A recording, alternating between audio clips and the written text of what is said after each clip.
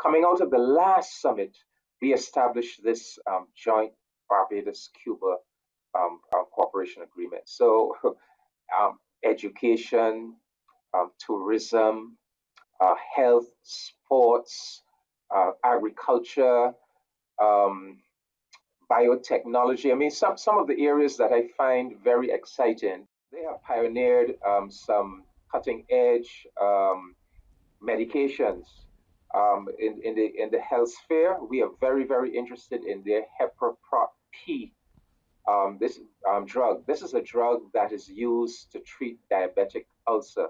Diabetic ulcer is what typically leads to many Barbadians uh, suffering amputations of their of their limbs.